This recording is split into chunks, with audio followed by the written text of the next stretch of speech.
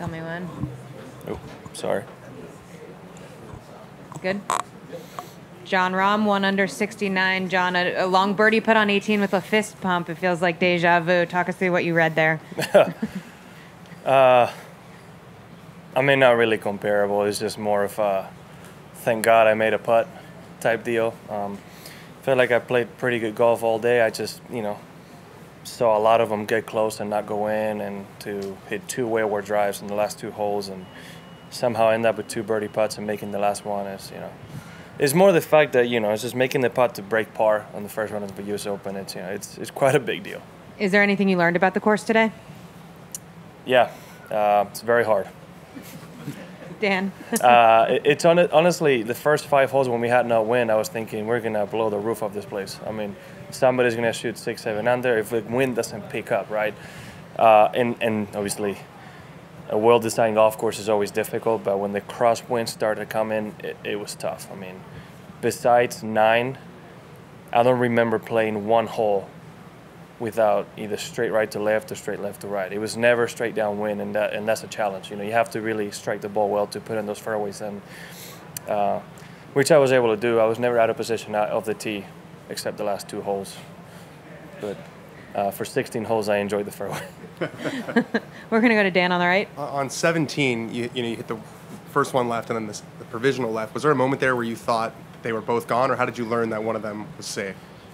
Uh, so when I hit the first one, I wasn't sure, and obviously I, I, I thought there was a chance of it going left uh, into into the well, it's not really penalty, it's just of being gone. Um, I thought I saw somebody give me the safe sign, but I wasn't sure. So I was like, I'm not gonna waste my time going up there to then come back. So I hit a driver, and while it was going left, we saw somebody give us the safe sign. So I kind of thought, well, if the second one's good, the first one's good for sure. Um, so that was it. I didn't really realize how close that came. I mean, uh, I fully know how lucky I got on that hole, and you know, I try to take advantage to make a birdie, but I'll take the four and run every any day of the week. And then you mentioned the golf course. Do you think that they can kind of turn it up quickly? Is it a, was it a function of playing They easy want to. today because of the, of the pins, or why did you think it, it played easy? Oh, there was especially no wind, no wind, and relatively soft conditions early on, right? So you could hit it close and be aggressive. Like the, I'm talking about the first four or five holes, right? I mean, I was even par. Uh, both James and Collin were under par, and I don't think any of us were doing anything special. So I was like, you know, it could happen. Uh, but again, it's a U.S. Open, right? It's the false hope that that it gave me. Uh, it's also, I mean, as the wind goes on, it gets firmer. This golf course can get really, really difficult, and you know, it's the fun part of it. It's not the longest U.S. Open we've played. It's not the trickiest U.S. Open we've played. But with this wind and those greens, they can, you know, with pin positions, they can make it as hard as or, or as easy as they want. We're going to go here to Doug. couple of kids run off with your ball on 18. Yes, yeah, yeah.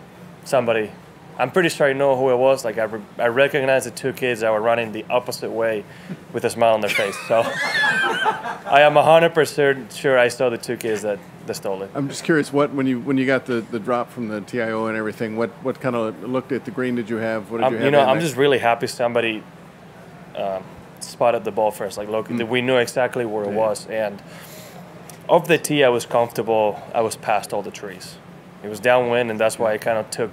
I wasn't trying to go that far left, but I was trying to take it almost over the trees and over the bunkers. Um, so after the free relief, I had 135 yards to the pin, in an area where the rough wasn't that thick. down. Okay. I don't think they expected anybody to hit it there or be around there. So I was able to drop on an area that was a little downgrade, and it wasn't, uh, you know, there, I wasn't in in jeopardy of carrying the bunker. Right, that wasn't really a concern. So We're gonna go uh, to- I think it was 125 to cover the bunker. So We'll go to Todd on your right. Hey, Jon, there were a couple of iron shots in your round that ended up short right. You looked perplexed. Was that mechanical, or did you just misjudge the wind? What, did no, that was 100% me. 100% you? There was about five iron shots that I skanked completely. Yeah. Okay. 9, 10, 12, 15.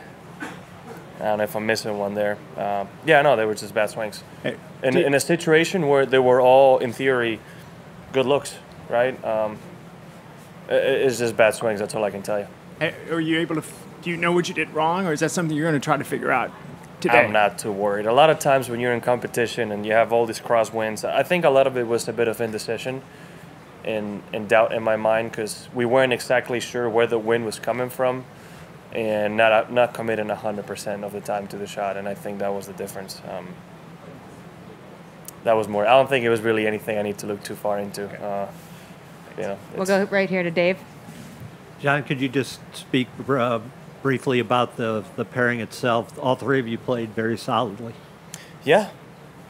I mean, what can I say? We know what Collin does. Uh, pretty steady golfer. Um, is not the best ball striking I've ever seen him have, but he definitely had a lot of up and downs today that were really impressive. That kept the round going. Um, James, well, what to expect from a U.S. Am champion, right? Obviously, he's a very talented player, and he didn't have his best first, uh, of best starting hole. But when you see somebody make a couple of par putts early on, like he did, you know he's comfortable, right? So it's only a matter of time till the rest of the game kind of you know, gets going. So he, I mean, he shot one under, and I think he played the best out of the three of us. He definitely had a chance to shoot lower than, than both Collin and I. Thank you. Jon, thanks for your time. Thank you. Appreciate it.